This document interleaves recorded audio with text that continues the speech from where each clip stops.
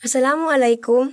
Bago ko po simulan ang aking huling kanta sa taon na ito, 2023, nais ko pong magpasalamat sa lahat-lahat ng nagpakita at nagparamdam ng totoong pagmamalasakit, pagmamahal sa akin. Especially nagpapasalamat ako sa Allah subhanahu wa ta'ala sa mga blessings na binigay niya sa akin, sa aking mga mahal sa buhay, sa aking mga kaibigan, at sa lahat-lahat na naging parte ng buhay ko sa taon na ito.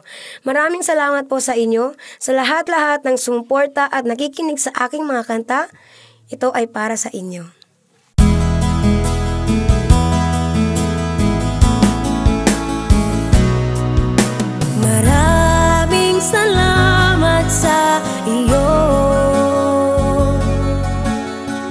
Lahat ng kabutihan mo Ang awitin kong ito ay para lang sa'yo. Isang munting handog masasalamat ko